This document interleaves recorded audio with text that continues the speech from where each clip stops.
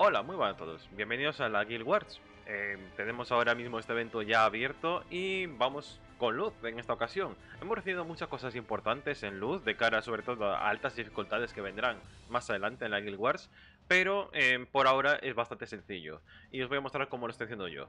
Para quien no lo sepa, hay varios canales, hay varios vídeos en este canal eh, donde podéis ver de qué trata el evento, pero un resumen rápido sería, es un evento para conseguir armas, de las cuales algunas de las armas que puedes conseguir te proporcionan personajes que son los Eternal, y en el camino pues puedes conseguir a través de los honores de cada una de las batallas que vas haciendo y de otros recursos, más recursos en general.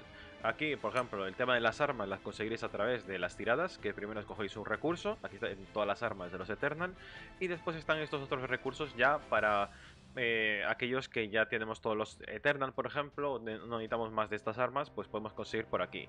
Y este recurso es para las nuevas armas que han incorporado. Ahora mismo tenemos una extra que sería un puño más. Eh, en general, ya veis que eso es lo principal por lo que fue diseñado el evento, pero también atrae mucho la, atención el tema del loot. El tema del loot, aquí vemos que esto es básicamente por intentos, lo vais a conseguir quieras o no, esto todo es bloquearlo.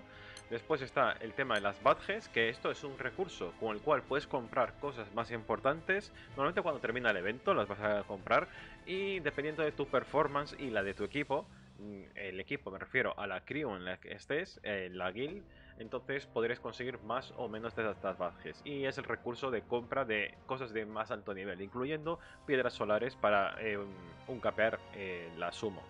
Y el tema de los honores es yo lo que destacaría como más, de, más importante, más destacable de todo el evento, por todas las mejoras que hemos tenido, aparte de que consigues muchos cristales por el camino, hay unos recursos muy buenos aquí tirando más al final, como sería a los 800 millones de honor, entonces consigues una Eternity Sun.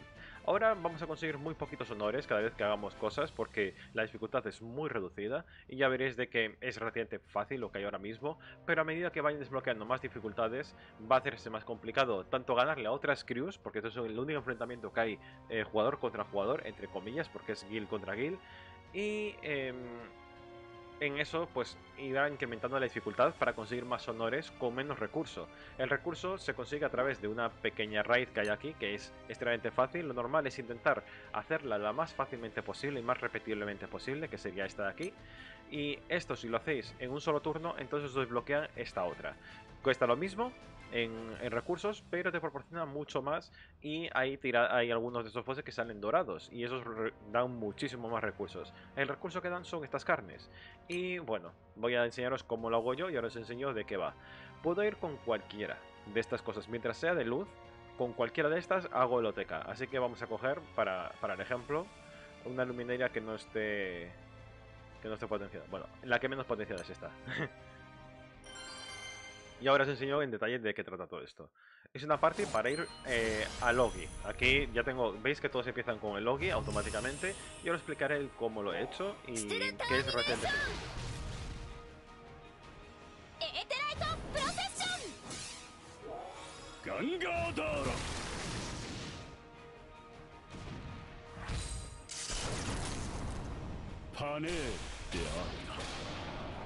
Y de esta composición me ha sobrado muchísimo daño.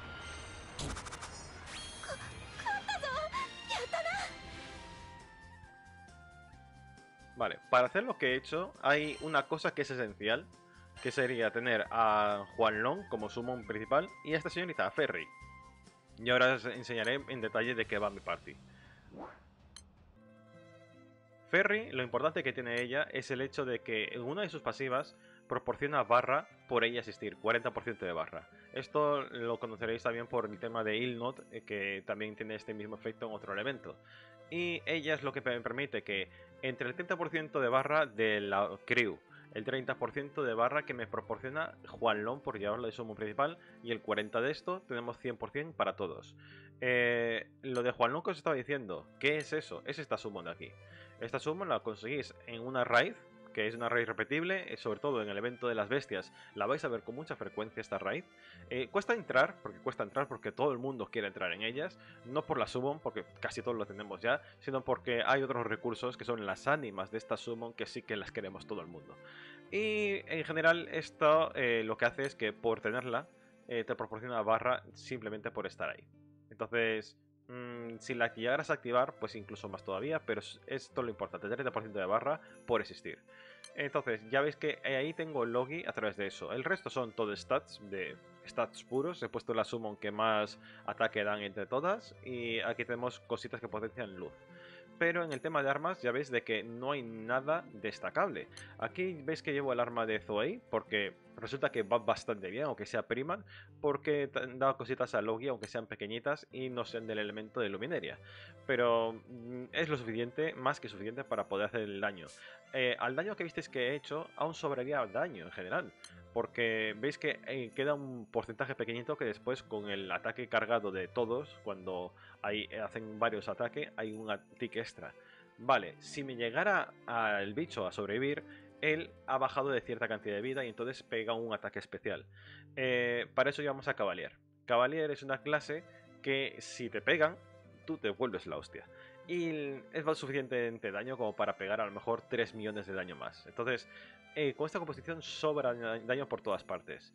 Y e incluso podría ser eh, para gente que no tenga aquí a Ferry, eh, podríais tener a un Eternal. Si tenéis a los 10 Eternal, todos los Eternal tienen un 10% más de barra al comenzar la batalla. Entonces, tendríamos de que ella tendría 100% de barra si tenemos Juanlón nosotros y cogemos el Juanlón de otro, y los otros dos tenían 90. Entonces implica 100, le das 10 al hacer Ogi 100 y 100. Entonces tenemos todo. ¿Por qué llevo a Shiva? Aparte de porque pega muy muy fuerte en los Ogis. Porque me permite también el no llevar aquí nada que utilice bufo seráfico. Ya que es un personaje que una de sus pasivas es que nos da un bufo seráfico de serie.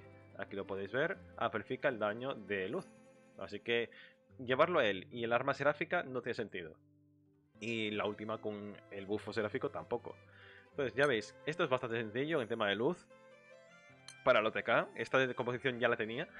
Esta composición ya está aquí desde la última Guild Wars, que fue hace ya bastante tiempo. No ha cambiado nada en absoluto. Y tampoco he mejorado ninguna de estas armas, así que ya veis, es muy sencillo comparado con lo que había. Y el arma esta, pues es también de Juan Long, que se compra con ánimas de Juan Long en la tienda, básicamente y que estoy utilizando para el NM90, porque claro, si queremos farmear las nuevas armas, tenemos que ir al NM90, que sería el conejito este. El conejito este, eh, normalmente querrás matarlo en un solo turno, y hay muchas formas de hacerlo, pero yo he ido por la forma en la cual aumento el máximo el drop rate, ya que lo puedo matar en un solo turno sin pestañear.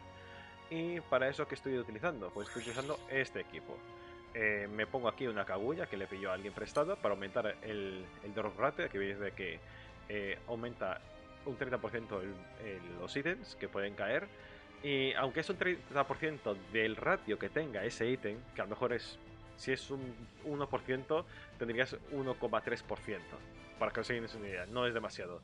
Pero también tenemos a este que aumenta en 1% el drop rate. Tenemos a ella que por existir también aumenta el drop rate. Y vamos con King porque tenemos dos habilidades que aumentan el, drop rate del enemigo y aparte de ella con su tercera habilidad le vamos a poner a Bounty 9. Eso lo vais a ver que lo tengo en full auto. He desactivado algunas habilidades para que pueda ser totalmente full auto. Y para tener un extra de daño pues tenemos aquí a Belzebú. Si tuviera aquí por ejemplo a Ticón, eh, la clase Ticón con la maestría especial desbloqueada, entonces podría también ella pegar en nivel asesino una burrada de daño, pero no lo tengo. Así que vamos con lo que tenemos y nos sobra para esta composición de equipo y esta dificultad. Y ahora os enseñaré, después de hacerlo, las armas que estoy llevando, que no son nada del otro mundo, la verdad. aquí lo de la barra lo estáis viendo ahora mismo porque es la hora feliz, por así decirlo, de que tengo Ogi eh, una hora al día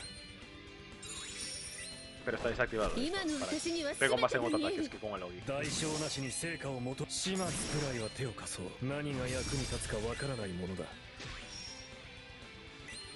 射抜いてみせるその心臓を私の弾丸は彼方まで届くうが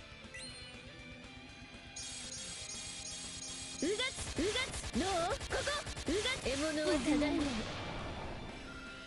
Le faltaba un, un autoataque más a ella. Por eso yo os digo, a mí me sobra el daño. Si tuviera Ticón, en la siguiente dificultad, en el 95, también podría hacer exactamente lo mismo, porque Ticón tendría el bufo asesino. Pero no hace falta aquí. Y ya veis, eh, este, el objetivo aquí es conseguir que nos caiga el puño Y aquí es donde gastamos las carnes para conseguir más honores. Ya habéis visto que se consiguen bastantes más honores que con la otra, en eh, la otra raid. La otra raid creo que eran 70.000 o algo así, una, una porquería. Y aquí dan bastantes más. Y ahora os voy a enseñar de qué va mi party. Ah, bueno. Y vais completando eh, por repetición, este es un momento de muchas repeticiones. Cuando lleguéis a ciertas repeticiones de un enemigo, os va completando algunos recursos. Algunos dan cristales, otros dan tickets para las tiradas extra de las cajas y otros os dan directamente cajas. Y estas cajas son importantes porque dentro de ellas están bastantes cositas muy interesantes y pueden caer muchas cosas buenas. Ya tengo 7 reclutadas porque se consiguen aquí por diferentes repeticiones que tenemos por aquí sueltas. Y aquí, por ejemplo, las 25 tendría más cajas todavía, 3 más. Entonces vamos a abrir las 7 primeras estas que tenemos aquí. A ver qué es lo que toca. Vale, eh, cada una contenía uno de estos y el resto, pues nada, nada importante, nada especial. Diría que lo mejor que ha salido aquí son los pendientes, pero tengo suficientes pendientes como para que esto no sea algo que me cambie la vida. Pero ya veis, esto es un recurso que vamos a intentar conseguir todo el rato. Porque básicamente esto es lo que es la moneda para comprar las nuevas armas y para uncapearlas. Muy importante eso último. Entonces, básicamente es esto. Hacer, repetir. Y el evento es sencillo. Eh, lo único que va a ir eh, aumentando la dificultad y eso lo iré trayendo al canal a medida que vaya sucediendo las nuevas cosas. Y el, equipo que estoy utilizando, que os dije que os voy a enseñar, eh, básicamente tenemos aquí a Street King, puede ser tanto él como Ticon, pero Ticon necesitaría tener la maestría especial para tener la habilidad roja, que os aumenta muchísimo el bounty. Pero bueno, aquí da igual en ese sentido, ya visteis que el bounty se puso un 9, porque tenemos aquí esto de aquí, que aumentas dos veces el drop rate, es una burrada eso, tenemos aquí 3 de aumenta el drop rate. Eh, ya de por sí es una, una clase que no tiene poco daño, digámoslo así, no tiene poquito daño. Y obviamente tenemos a esta señorita que su primera habilidad siempre aumenta el, en 3 el bounty. Esta, cuando llega a nivel 150, esta habilidad se activa dos veces. Así que es incluso mejor si ya está al nivel 150 con Ticón, porque os ahorréis una habilidad. Es una habilidad menos que pulsáis y al final hay más daño porque Ticón tiene el nivel asesino y está bien en ese sentido. Pero claro, no lo tengo, así que ¿qué lo vamos a hacer? Y en sí es un personaje que, como podéis ver, ella es de fuego en una party de luz, así que no vais a esperar mucho daño a partir de ella pero el que sí que nos permite hacer muchísimo daño es Nehan, porque este señor aumenta el ataque, reduce la defensa, pero aumenta el triple ataque, importante para que los ataques que hemos aumentado se hagan, y después tenemos el que hace un doble turno.